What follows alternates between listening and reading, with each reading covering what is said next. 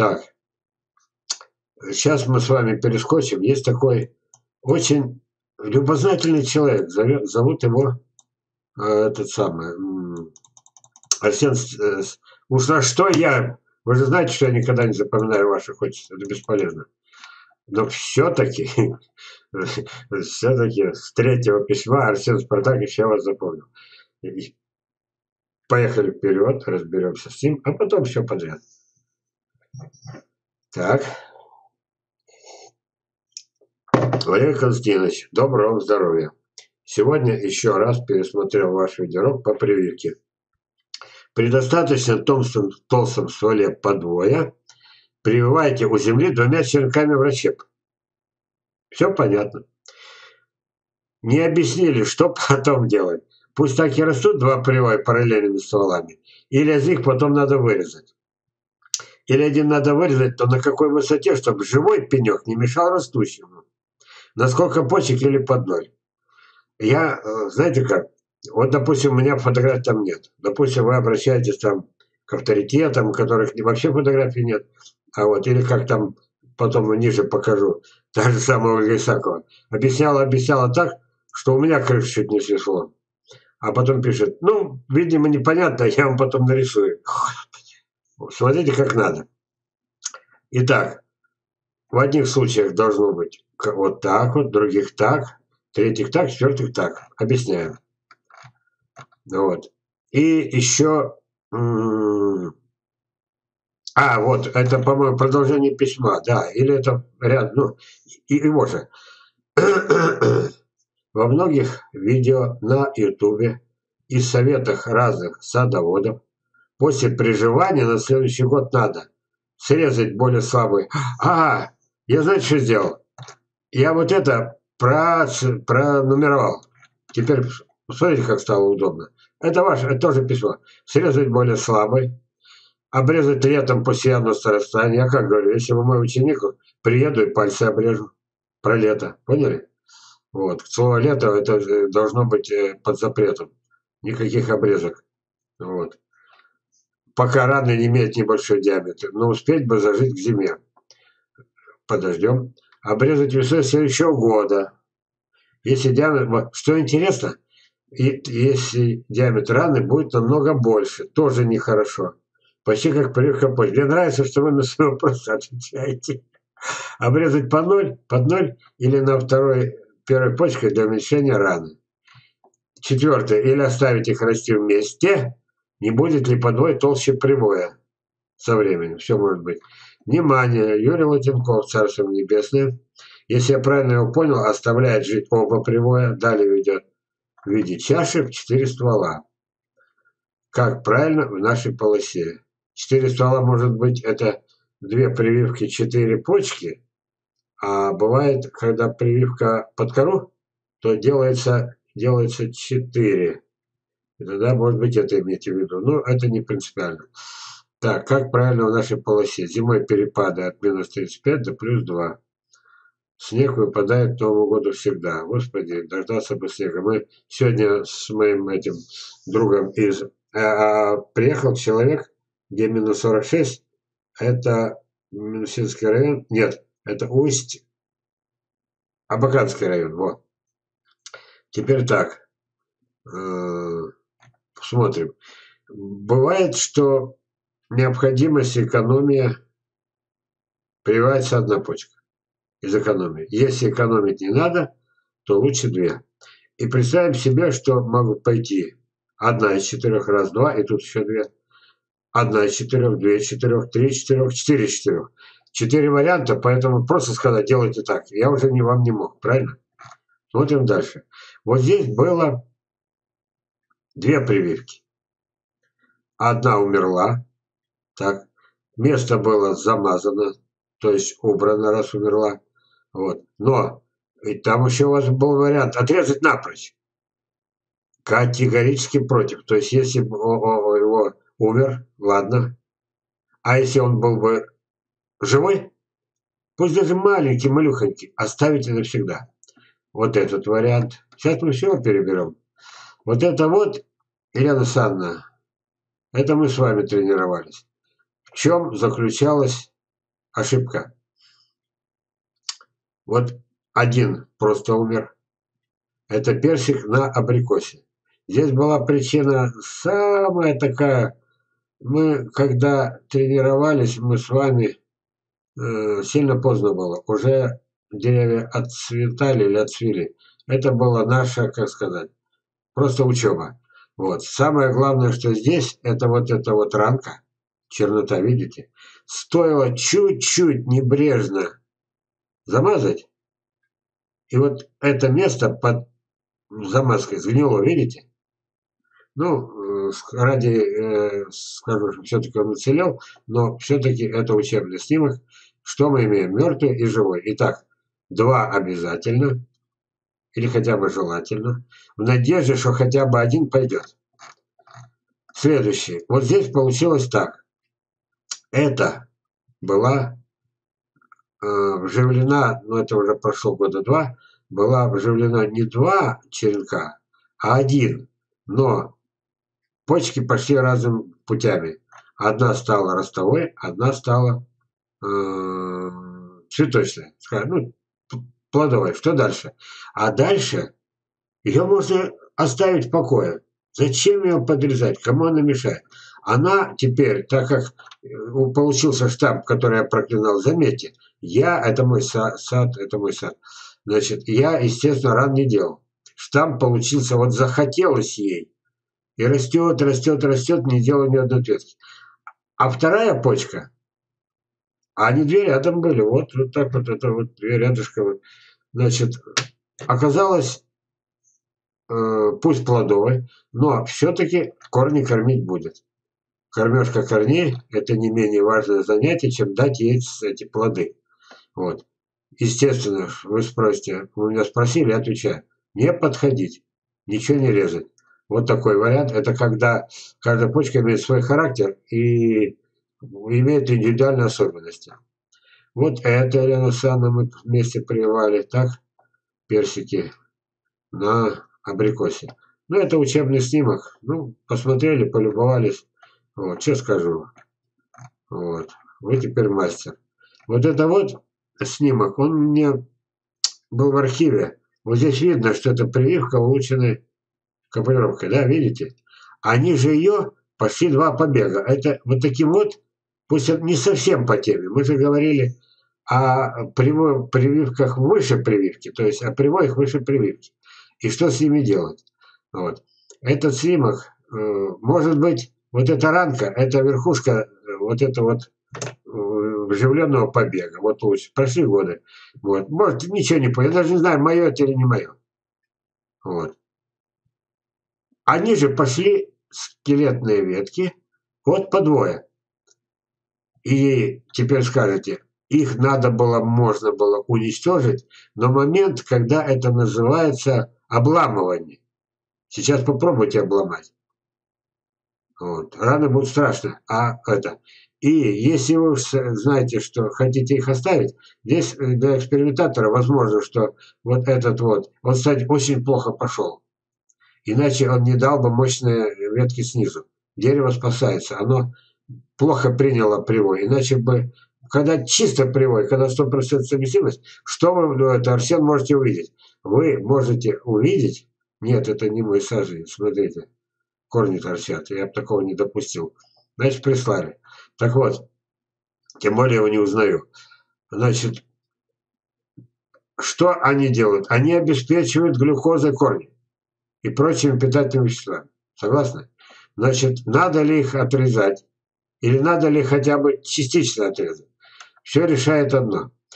До конца умрет, а частично, вот даже в разговоре с, с этим товарищем фанатиком, который мы сегодня сидели на кухне, так, это прозвучало. Я еще раз применил, а он подтвердил, он такой мужик, вот, он прирожденный садовод, он, он взял, один из тысяч взял, чокнулся, вот, в хорошем смысле. И вот он-то и подтвердил, я говорю, за это, ему говорю, а я говорю на камеру, на камеру, инфицирование. Надо бы правильно назвать прививка, но прививкой мы называем то, что пошло. А если вообще не пошло? Инфицирование. Если он умрет, здесь частично качество вот этого вот роскошные сливы будут вот тут. И теперь думайте вы, допустим, допустим, это в вашем саду, друзья.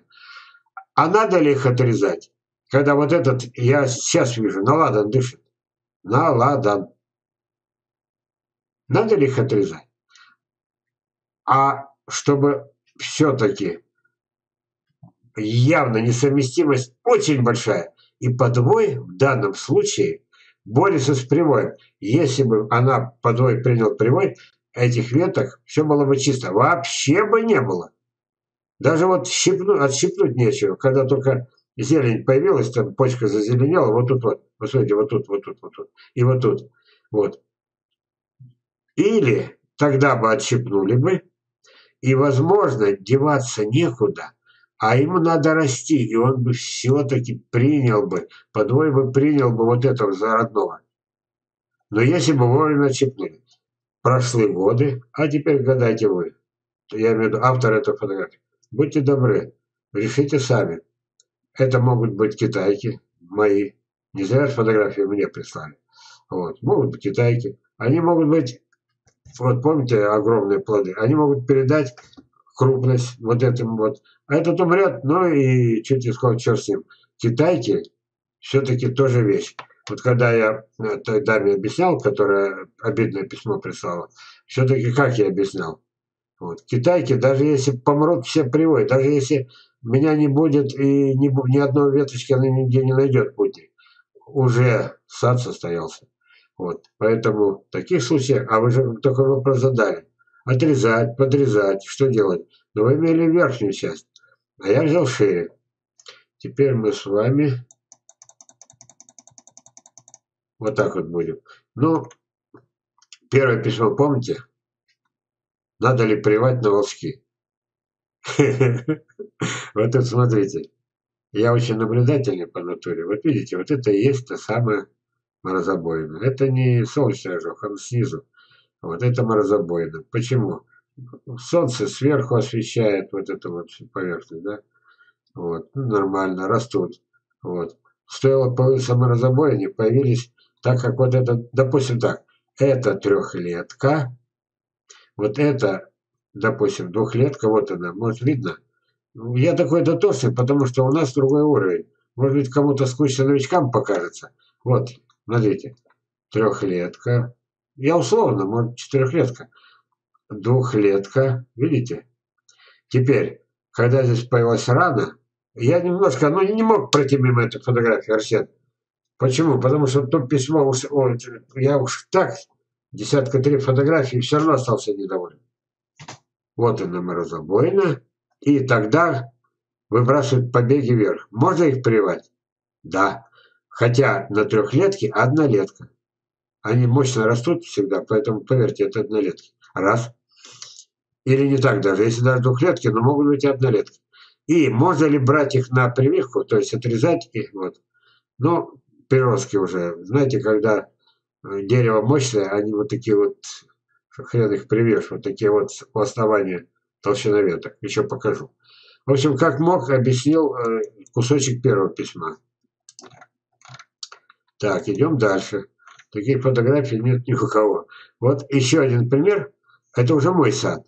И вот у меня вот эта вот венгерка, она настолько плохо сидит на, э, на, на китайской сливе, что китайская слива – это для меня сигнал опасности. Когда она дает такие побеги, возможно, она уже наладан дышит. Еще жива, но уже это. Это примерно так. Что там, надо было отрезать раньше. Но мой же принцип – наблюдать и не вмешиваться. Идем дальше. Фотографиям цены. Смотрите. Вот это ответ на один из вопросов. Помните, вы как спросили, Арсен? Может обе оставить. Вот. Вот обе прививки на это самое. Э, была это уникальное дерево. Это моя лучшая в Сибири вишня жуковская с генами черешни. Я внедрял туда. Привитая на сибирскую штамбу. Ох, она призная какая это не принимает. У меня приняла. Приняла обе. То ли от отсутствия желания, то ли от отсутствия времени. Да и растет ты на здоровье. Растет ни хрена. Ни хрена не. Вот две прививки. Ну и что? Она выросла в очень крупное, огромное дерево. Где-то почти трехэтажный дом. Самое обидное, когда 90% ягод достается, а иногда 100. Последний год 100. Урожай был маленький. Вот. Сожрали птицы, вычистили. Вот. Видимо, по всей округе были проблемы с, с вишней. У меня же не только в одной вишне. Вот. И у меня получилось так. Ну, сами видите. Наверное, я был прав, когда не стал э, отрезать, как вы говорите, может одну отрезать, может подрезать, сделать. Иногда можно делать, если вовремя спохватиться, не, не сейчас, когда ей 20-25 лет, а вовремя спохватиться, можно было бы одну делать второстепенное, но это надо смотреть на месте. Потому что они обязательно, одна чуть лучше развивается, вторая чуть хуже. Та, которая чуть хуже, из нее вот с этой, например, вот она двое меньше, тоньше. С нее можно было раньше сделать э, вот так отрезав. Пусть она растет кустом, пусть она будет второстепенной, пусть она дает мне черенки. С этой я не могу ни одной черенка взять. А их уже давно вот этих вот, мои роскошные, увидите их в этом. Фильм там полчаса мы с ним ля-ля-ля, а в черенке я не показал. А, я покажу на, на фотографиях. Ладно. Следующий момент. Вот это вот э, снимок. Один из лучших годов. Э, это однолетние саженцы, им примерно по 5 месяцев. Те самые, которые ввели в заблуждение троих авторитетных ученых. Один давал им 3 года, второй 4 года, а третий 5 лет. Но не именно этим, у меня еще рослей были. А это как бы ширпотреб, но особый ширпотреб. Двухлетние подвои, вот такой толщины, все в расщеп, все вот так вот. И черт с вами растите, вот что выросло. Естественно, что не подходил. И вот это мой принцип. Я никогда не похожу к секаторам. Растет. Единственное, что я делаю в питомнике, это мощникол выпрямить. Почему? Боковая, боковая ветка. И старается эта боковая ветка расти вот сюда, туда, туда, туда. Вот я не отрезаю никогда, сами знаете. Илья Савич, подтвердите, сколько вы хоть раз видели, чтобы я там халтурил, тем более в середине лета. Для меня это в середине лета, это я, э, как сказать, это будущие законы природы. Не трогать ни летом, ни осенью, ни зимой, не резать, не резать, не резать. Вот. Одни раны вместо морозостойкости. Ужас. И ведь этого не понимают миллионы людей, поверившие тысячам авторов.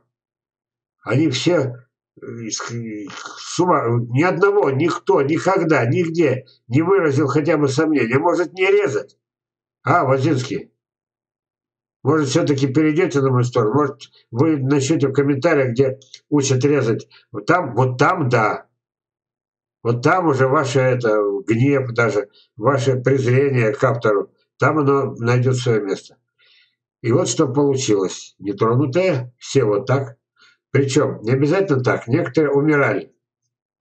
Просто умирали. Но если росло, я к ним не подходил. Вот это почти я все сказал. Вот это, значит, э, мой соавтор. Вот этого саженца. Вот представьте себе, прошло каких-то два с половиной года. Вот, посмотрите, здесь еще, я эту тему не трогал, почва. Здесь почва, боженьки мой, если бы знали, это же глина. И вот получается, что первый год растет плоховатенько, особенно для меня. Так. Второй год плоховатенько. Потом мне же надо черенки на прививку, а я уже на третий год делаю их маточными. То есть и, да, Лазинский может сказать, плодов-то не видел? А что же заберешь на прививку? Вот, тут вот он был бы прав при одном условии. Значит, там у него как было? Разные сады. А здесь один сад. Понимаете? Вот. Здесь лист роскошнейший настолько, что ни о какой дикости речи быть не может. И единственное, что может здесь плод получиться другие, только потому, что этот постулат мой, что вегетативные гибриды всегда в единственном числе на планете. уже следующее поколение, взять ветку, да, это будет опять единственное дерево, но другое. Вот. Поэтому обещать, что если здесь 100-граммовые плоды, вот, а это, например, академик, я уже не боюсь. Я могу обмануть, понимаете? Вот. Помните фотографию вот эту вот? Я не полюбю, еще раз покажу. Пусть она не очень так смотрится. Вот. Я могу обмануть. Представляете, вот крупный план. Вот мне повезло с этим. Елена Александровна, почему с меня это не слупили гонорар за это? Фотомодели сколько зарабатывают? А вы все бесплатно. Вот это вот, да? Я могу обмануть. Взяли косточки, не повторят. Взяли черенок. Я могу обмануть. Вместо 100 грамм может оказаться 120. Представляете, какой я могу быть обманщик? Эх, Саша, Саша, воевал бы ты с теми, кто это... Ни один мой совет ни одного саженца во всей планете не погубил. А они губят их миллионами. Мы потом еще вернемся к этому. Сейчас, погодите, я опять... Ага, вот тут мы с вами прошли, прошли, прошли. Я думаю, быстрее буду проходить. В общем, понятно. На третий год происходит следующее. Адаптация уже э, дерева в почве, а почве к дереву. То есть она под землей вырабатывает свою экосистему. Почему? У нее теперь вот это дерево. Почему? Это очень важно, Елена Александровна. Спасибо за такой прекрасный снимок.